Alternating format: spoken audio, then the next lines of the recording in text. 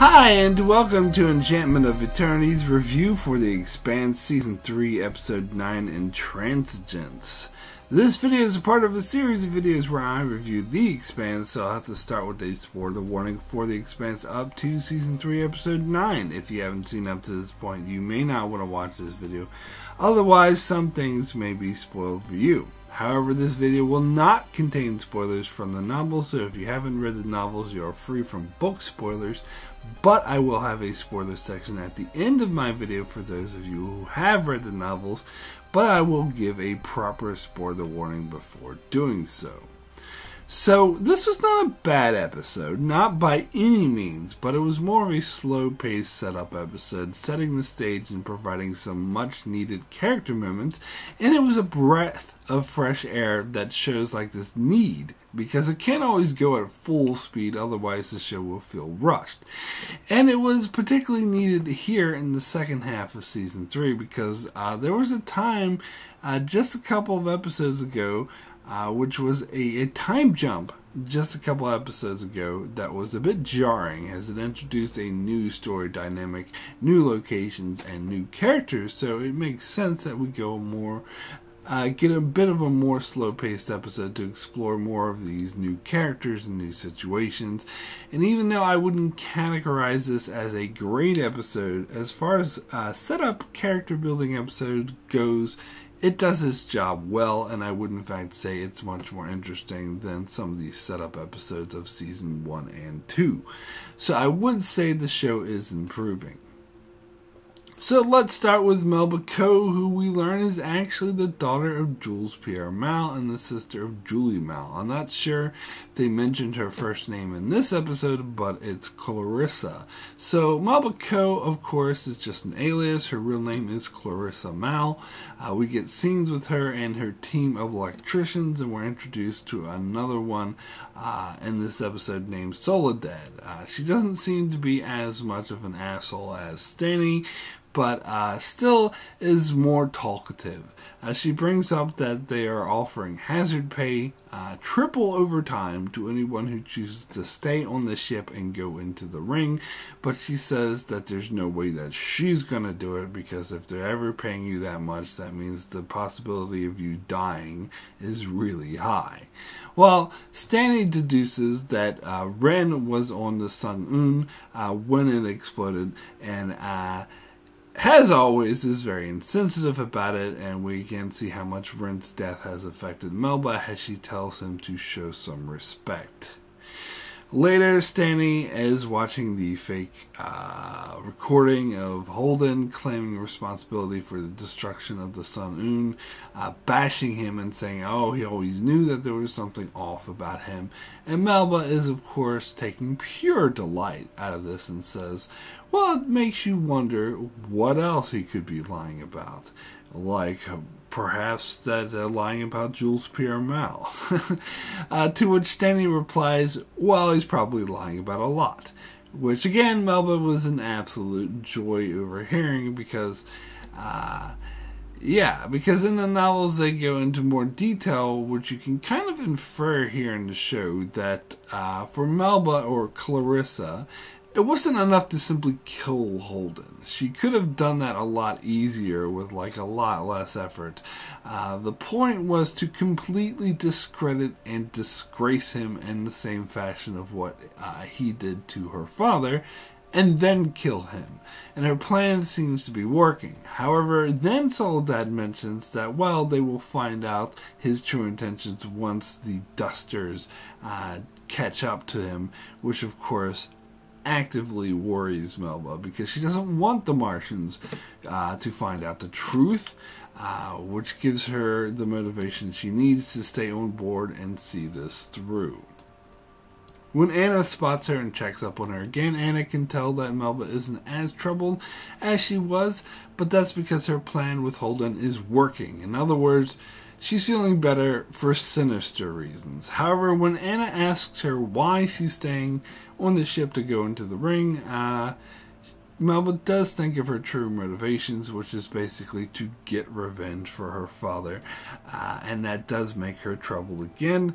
But she simply tells Anna that she's staying for the hazard pay.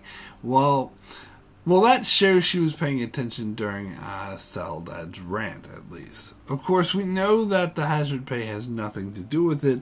She's staying to finish the job to make sure that Holden dies in disgrace. So during these Melba scenes, we get a series of flashbacks to a party she once threw, which shows her interactions with her father and her sister. And I must say, these flashbacks were done in a very lost like fashion. The whole way they were structured, sprinkled throughout the episode, whenever we focused on Melba and how it like flash to one event, and they even used the same sort of swooshing noises uh, that they uh, used a lot on Lost whenever they transitioned into a flashback scene. And the fact that the actor who plays Jules Pierre Mao uh, who was in the flashbacks, was also on Lost, also invokes uh, the image of Lost. And then there's Elizabeth Mitchell, who plays Anna, who also played Juliet on Lost, also makes me think of Lost. Uh, but regardless, I really liked these flashbacks. Uh, we didn't really get anything like this in the books, uh, where we actually uh, get to see the interactions between these characters, not to mention it was great to see Julie Mao portrayed in the show again, and we see this dynamic at uh, a party uh, that Clarissa threw for Julie to celebrate her racing career, uh, but she's nowhere to be found. And Clarissa finds her arguing with her father, as apparently she's going to announce that she's retiring from racing. And from what we know of her, it's implied it's because she wants to go to the belt to provide humanitarian aid. And Jules uh, berates her until she has had enough and denounces him as greedy and corrupt, and that she can't stand to be a part of his life anymore. Uh, Jules counters that he gave her everything, but she replies that she doesn't want it. Now, I have heard the opinion that Julie was acting a bit stuck up here, as she was provided this very rich and lavish lifestyle while billions on Earth squander on basic, and that does, uh, and that she's being, uh, you know, taking it for granted. And that does seem to be Jules' uh, perspective, but I would argue that Julie is totally right about Jules being corrupt. As we later learn, he participates in the death of hundreds of thousands of Belters, and his action almost got Earth destroyed. So I actually completely side with Julie here, as she's rather she'd rather be poor and live in squander than be a part of this corruption anymore, which I think speaks a lot to the strength of her character. Clarissa, on the other hand, isn't nearly as noble as her sister and can't see things past the point of her uh, her point of view. As from her perspective, uh, Julie gets all the attention and all of her father's love. As even after Julie denounced and degraded him, Jules still admires her more and pretty much dismisses Clarissa as useless. So Clarissa goes out to confront Julie and expresses her anger at her for ruining her party and pretty much ruining everything she does. Uh, she puts all the blame uh, for the, for the shitty way in which her father treats her onto Julie and calls her a narcissist. But Julie, rather than fighting back, simply says nothing that uh, she ever does will be good enough for their father. And it does appear that she's very much right. However, when we go back to present times, we learned that uh, isn't the message that Clarissa got as she uses Ren's pad to record a message for her father, telling him she will finally earn his respect in a way that Julie never would or could by getting revenge on the man who ruined his life. So we see this isn't simply about getting back at Holden for what he did to her father, but also about trying to prove herself in her father's eyes and prove that she's better than her sister.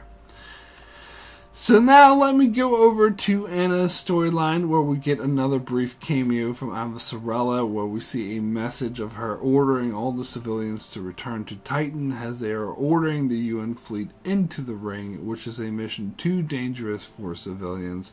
So we see Anna, uh, you know, talking to Dr. Reverend Hank Cortez about how big of a shame it is that they have to leave the mission now.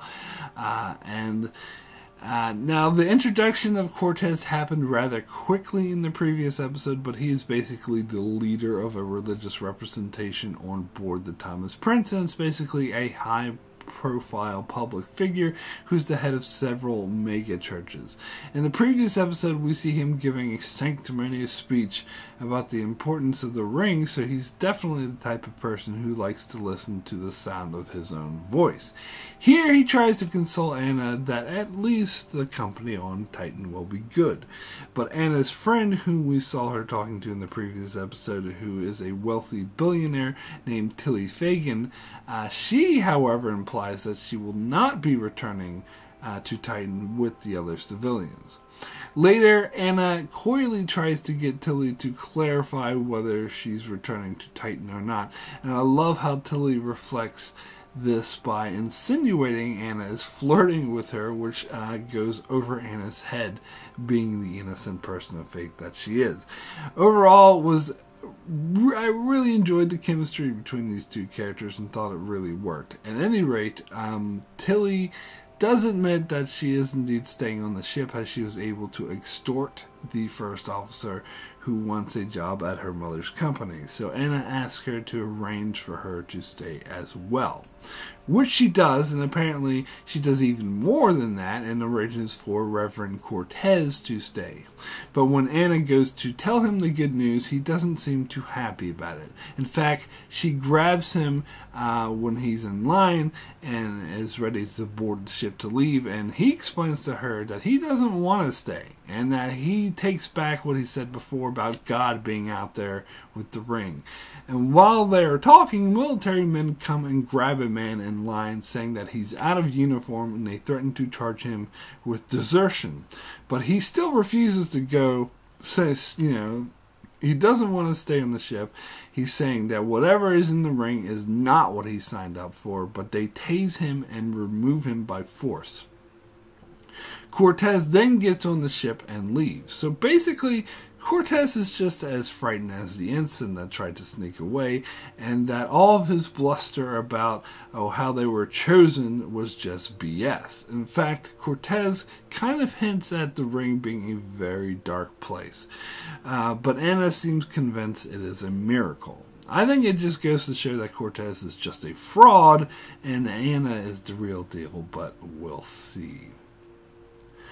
So anyway, let's move over to the Behemoth, uh, which begins with them dealing with the aftermath of trying to destroy the Rocinante, which of course Naomi isn't at all happy about, and is trying to find out if they survived, but Ashford reminds her that she is the chief engineer and should be working on repairing the ship.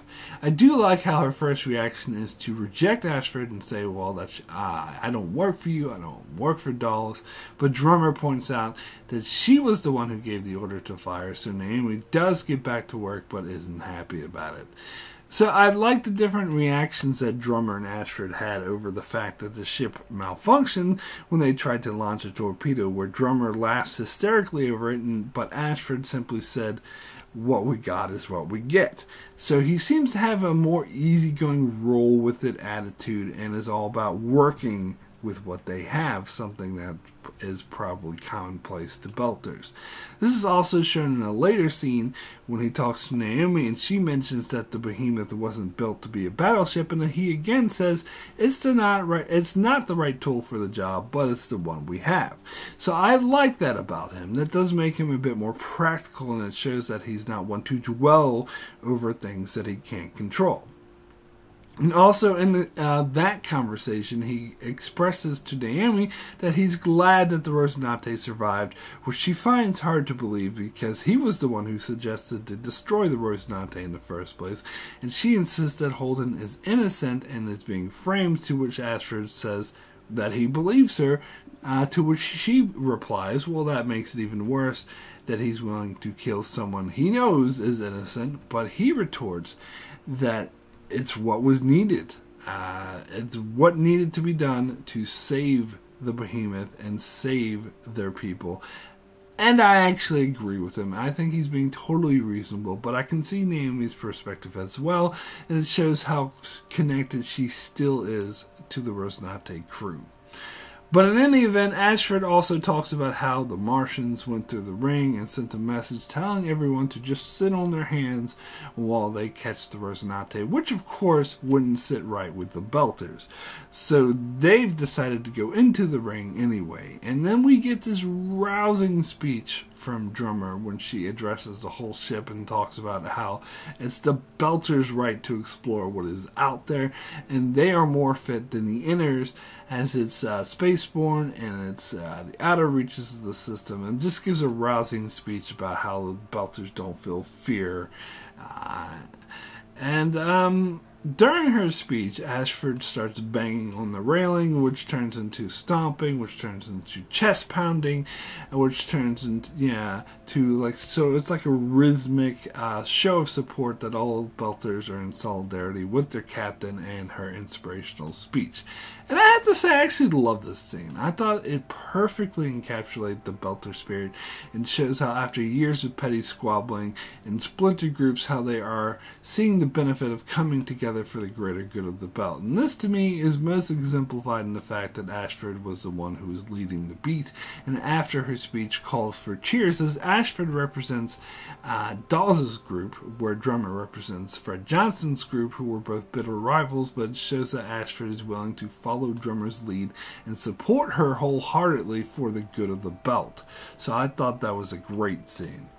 However, we later see Naomi intending to leave to go back to the Rocinante, and Drummer confronts her as she feels uh, a bit abandoned by her. But Naomi explains that uh, she needs to return to the Rocinante and that she's realizing that she never should have left in the first place, and says that she, she was feeling nostalgic, which is why she returned to the uh, OPA. And it's funny because this was a callback to what Ashford had said to her earlier, but he was saying it in regards to the Rocinante, and he said that following the feelings of nostalgia never works. However, funny thing is, is that she took that in the opposite direction and followed his advice, but felt that the nostalgia was about returning to the OPA in the first place, as she's realizing that her rightful place is on the Rocinante.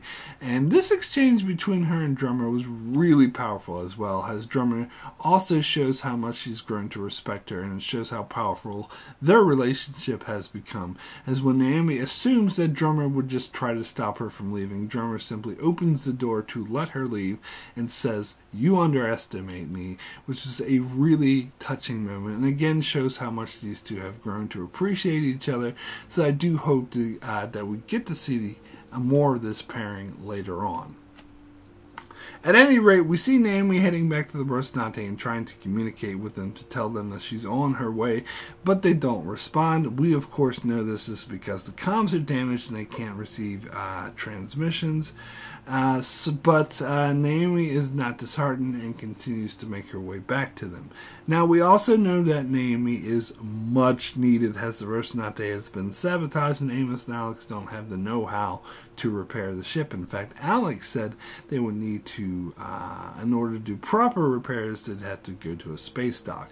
But if anyone can fix uh, the ship out there, it's Naomi. So, uh, my I'm really hoping that she can get to them before the Martians do, and uh, the Martians do have a head start on her, but uh, maybe the Rocinante will turn and move towards her, perhaps through realizing uh, that it's Naomi, or at the very least know that having contact with the Belters would be better than surrendering to the Martians. Either way, uh, I really hope to see Naomi uh, reunited on the Rocinante. Anyway, speaking of the Rocinante, let's finally move over to that storyline. So we begin here with the crew trying to figure out what happened after they entered the ring, and the torpedo chasing them appears to freeze in midair. But Alex explains that the torpedo is still moving, but very slowly, but also has changed course and is floating towards the center of the bubble that they are now in, where there appears to be a strange sphere uh, some refer to as the nucleus in the center of this bubble. However, uh, why Holden, while Holden, Amos, and Alex talk to try to figure out what to do, it comes out that Holden is seeing Miller, to which Monica Stewart questions, and that dissolves into speculation about uh, who or what Miller is. And I absolutely love what Alex does next as he silences them all and says, Well, this is a great conversation to have once they're safely out of the ring. And that's actually a great point and speaks a lot to Alex's character, as weird space orbs and ghosts appearing are secondary concerns to him, as his main concern is the here and now and practical problems right in front of them. At any rate, as they talk about uh, what their main problems are, they need, uh, they said that their biggest problem is to Holden talks about how their biggest problem is to find out how the ship was sabotaged and to repair it. And I love that while he's talking, Amos sort of starts to peek over and glare at the camera that's filming him, and then something starts to click. And so I knew he was just going to smash that camera as it was so natural for Amos. He then grabs Elio, the cameraman, and threatens him. Monica insists that they don't know anything, but Elio confesses to putting something in the ship. Uh, but he insists it was only supposed to give them a backdoor into Morse, to give them more information about the comms and navs so they could use them in their documentary. And the thing is, I do believe him. He said that he uh, got it from a connection, one whom he never met. So I think it's obvious that connection was Clarissa Mao, and that she used that to disable the Rocinante and send out this false message. So I believe Elio that he had no idea uh, what it would actually do, and that Clarissa sold it to him as a simple way to gather information, but really used it to sabotage them. And the reason why I believe Elio had no idea what it would really do is because, as he even points out, that he would have died with them. And I don't see this character as suicidal, so uh, I think he was just being used. At any rate, Holden goes and locks himself in the room to try to get Miller to talk to him, uh, with no results. Uh, we do get a funny little scene of Alex going down to check on Holden, who just glares at him and then shuts the door. I suppose that scene was okay. It shows the awkwardness around this situation, but overall, I didn't really care that much for this scene uh, or find it that funny, but that's just me. So while Holden was busy brooding in his room, Amos was having his way with the documentarian. Uh, and by having his way, I mean threatening to kill them. Uh, something Holden would probably keep him in check had he been there, but he was absent. Uh, of course, as soon as Alex sees him, he tries to stop him, but by then it's a bit too late. After Amos had already put what looks like a screwdriver to Monica Stewart's throat, he gathers both of the documentarians and prepares to throw them out of an airlock. However, when Alex shows up, Amos specifies that he's allowing them to get into spacesuits. So he's not killing them, but he's still basically throwing them off the ship. The plan is that they will get picked up by the Martians so they can tell the Martians what really happened on the Rocinante. But as Alex later points out, the way Amos mistreated them makes the possibility that they would actually put in a good word for them very low. And it was very funny seeing uh, Amos's reaction to this, which was like, What? I was gentle. Classic Amos.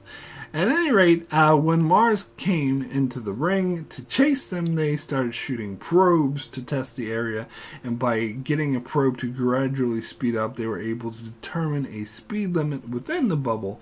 Uh, that is the fastest speed that they can go before they are grabbed by this force. As Alex puts it, is as if something, if something goes too fast, something gets nervous and grabs it. And so uh, the Martian ship starts going towards the Rocinante at the top speed allowed, and the Rocinante matches the speed to stop them from catching them. Uh, so we get this super slow chase scene. But uh, other probes uh, that the Martians sent out showed that they vanished as soon as they hit the bubble. So that leaves them with uh, little options. Either keep going and risk hitting the edge and also disappearing, or slow down and let the Martians catch them. Holden eventually decides to slow down and to be caught, as he points out this is their only option, even though it means that even if they can convince the Martians that they're not responsible for sun, the Seung Un, uh, they will still definitely take the Rocinante away from them. A prospect Alex isn't particularly thrilled about, but Holden points out that it's better than death. But when they slow down, Miller finally appears to Holden and complains about why they're slowing down. And it's like, come on, let's go, let's get to the crime scene. And Holden, of course, is like, ah, now you finally decide to show up. And then yells at Miller to drop this stupid detective metaphors and says that he wants to know everything that Miller knows. So then Miller starts spouting out a bunch of technical and scientific jargon. He mentions a non local quantum hologram, which sounds like an interesting concept to me. It kind of implies that this version of Miller is just a projection of some kind. But of course, this was a funny scene, as after he spouts out all these technical terms uh, that was obviously went way over Holden's head, he simply says, uh, so you were saying crime scene? I must admit that was funny. However, uh, this time Miller is a lot more coherent than he was in his previous appearances and is able to hold coherent conversations with Holden. Holden even points out uh, this uh, that there seems to be something different about him, and he explains that the signal is much better in here, which again implies he's a projection coming from the protomolecule. He then talks about uh, going to the nucleus in the center of the bubble, and Holden seems totally on board with this, but apparently is unwilling to risk the safety of the crew, as instead of flying the Rocinante to the center, he elects to get into a spacesuit climbs on top of the Rocinante and jumps towards the nucleus. Now, this is kind of the trait I see in a lot of hero characters.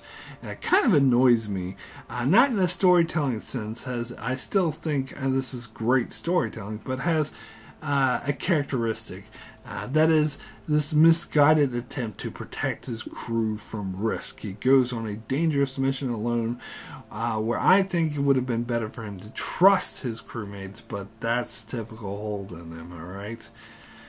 so my rating for Intransigence out of 10 is an 8 extremely good. As I said, a very strong character building episode that had a lot of great moments, from expanding Melba's character through a series of fascinating and well designed flashbacks, to getting the dynamic of Holden and the crew dealing with their current predicament to the new United OPA on the Behemoth, as well as exploring the fascinating new concepts like the bubble within the ring and the speed limit that apparently exists there. This episode is a cog in the machine to be sure, but a very interesting one, and it does its job well. So that's it for my spoiler free section of my review of Intransigence. I have already done a live discussion video with Avkin Tomko and Darren from D's Reviews on this episode. You can check that out uh, the, in the replay in the archives. I'll put a link to that video in the description below can also check out my channel for many more Expanse videos as well as uh, other videos on other shows like Star Trek, Game of Thrones, Babylon 5, and more. So be sure to subscribe so you can keep up with all of that. And thanks a lot for watching. But for those of you who have read the novels, you can follow me to my spoilers section, which begins now. So, Reverend Father Dr. Hank Cortez is leaving. Say it ain't so. I'm hoping that they'll find a way to bring him back into the story and into the ring, but I really don't see how. Uh, they show him boarding a ship to go to Titan, and he seems adamant that he needs to go. And I must say, if he is indeed leaving uh, to never be heard of again, I don't really see why they even bothered to include him in the first place. I mean, I suppose it could be a brief cameo to like appease book fans, but he was barely even in it, so why even bother? I know it made for a nice little scene to show that he was a bit of a fraud and that his attitude about the ring and his statements about God not being uh, out there with them reflect his attitude in the books, which is kind of what makes me think they will find a way to bring him back so they can keep his storyline. Because the thing is, if he is indeed gone, this would seem to indicate that they're going to streamline the whole mutiny on board the Behemoth storyline, which he was a major part of, which I certainly hope they do not do as that was a very important part of the of the book. In fact, the whole sending civilians away thing seems to go against what happened in the novels, uh, even if it does make imperial sense. Uh, has there were a lot of civilians on board the Behemoth, so this does have me worried that they will rush through the second half of the book. And if they do indeed try to finish book three in the mere four episodes we have left, I honestly don't see how they could do it without it feeling incredibly rushed. Now, I know a lot of people have been speculating that Ashford won't go the way he did in the novels and will follow more of Bull's storyline and will be more of the hero, the good guy. But I don't think that will happen. And more importantly, I don't want that to happen, as I think that would change. Uh, that change would likely ruin the entire story. As Ashford's mutiny is a major part of the events in the ring, it shows how freaked out humans can be when confronted with the unknown and how sometimes their instincts are to try to blindly eliminate what they don't know uh, because they're afraid. And plus, with uh, with Ashford in the show, uh, even though they're showing a lot of good qualities in him, and I, I, have already folded a lot of character traits from Bull into Ashford, he still underliningly comes across as a villain. And I personally think all these great qualities are just a way to have him be a dynamic villain rather than a two dimensional mustache twirling villain, something that The Expanse is really good at. Also, it will make uh, the turn into a villain more of a blow to audiences who have grown to like this character. And as I said, even in the novels, you get Ashford's motivations and how he thinks he's just doing what's best for humanity. And I think they could very, very do the they could do the same thing here in the show very well. So I do hope uh, they keep the storyline with the fleet being damaged and everyone, including uh, Martians and Earthers, having to board the Behemoth. But I don't see how they could get through uh, all of that, including having Holden go to the station, and also including wrapping up Clarissa's storyline with her going to the Rocinante and Anna following her there all of this in four episodes without it feeling incredibly rushed. As much as I would like them to be able to start season four with book four, I'm actually kind of hoping they save some of the book three stuff until uh, next season. But the showrunner's statement that season three would not end on a cliffhanger would be a good stopping point, as me thinking perhaps otherwise. But we'll see. Anyway, that's all I have for spoilers, so I'll see you all next week.